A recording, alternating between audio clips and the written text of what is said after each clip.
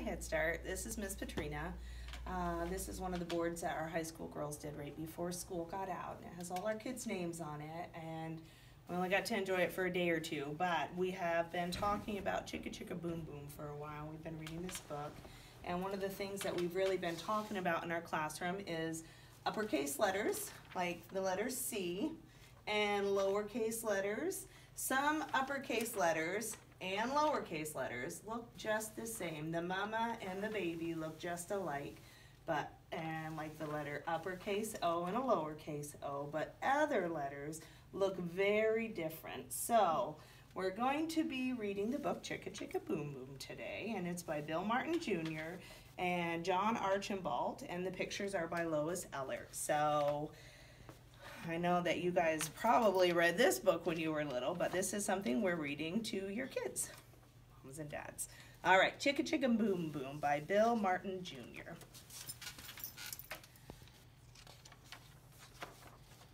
That's the title page.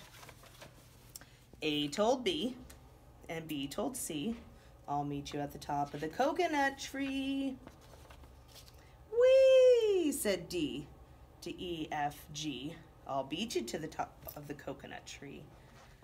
Chicka chicka, boom, boom. Will there be enough room? Here comes H up the coconut tree. And if you'll notice, the uppercase H and the lowercase h are together.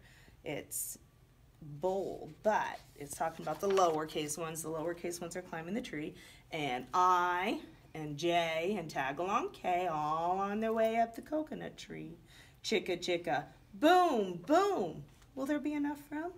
Look who's coming. L-M-N-O-P. And Q-R-S and T-U-V. And if you're bored, you guys can match the uppercase and the lowercase letters. And still more W, X, Y, Z. The whole alphabet of the Do you notice anything? Look at this, bending. It's starting to lean over. And what about those coconuts? What do you see happening? There was a change that happened from the page before. Oh, no. chicka, chicka. Boom, boom. Oh, my. We've got a giant pile of letters. Skit, scat, scoodle, doot, flip, flop, flea. Everybody running to the coconut tree. Mamas, and papas and uncles and aunts all hug their little dears and dust their pants. So if you notice, some of these look just the same, like just the Z, and some of them look different than their moms. They look similar, but not the same. Help us up, cried ABC. Do you see ABC? A, B, C. Next from the pile up, skin knee D and stub toe E and patched up F. Here comes G all out of breath. H is tangled up with I. J and K are about to cry. L is knotted like a tie. M is looped. N is stooped. Oh, is twisted alley-oop. Skit, scat, scoodle doop, flip, flop, flee, everybody. Look who's coming. It's Black-Eyed P and QRS and Loose Tooth T. I don't know if any of you guys have got loose tooth yet, teeth yet. Some of you have lost them to the dentist, but most of them were not lost on your own. Then UVW, wiggle jiggle free, and last to come XYZ, and the sun goes down on the coconut tree. And if you notice, what happened to those coconuts that were up there? But, chicka chicka boom boom, look, there's a full moon. And what shape is that full moon?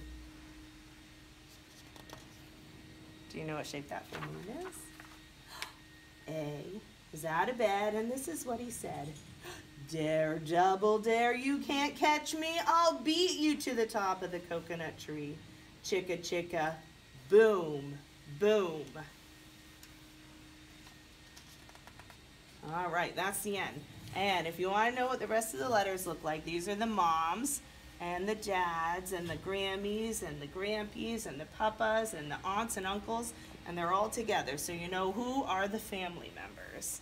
So, Miss Penny and I love you. We're thinking of you, and we wish you were here because our room is really empty. And when you're used to having a bunch of kids and and being busy, it's a lot different because you guys really light up our lives. And I know that your moms and dads are saying, and your papas and and family members are saying you're thinking of us. So we love you, and and don't be bored. There are more things coming. See you soon.